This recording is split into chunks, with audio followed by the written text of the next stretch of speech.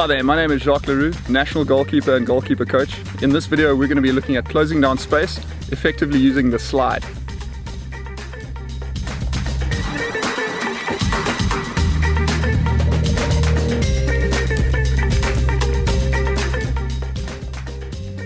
Notice the stride lengths shorten as the goalkeeper approaches the striker.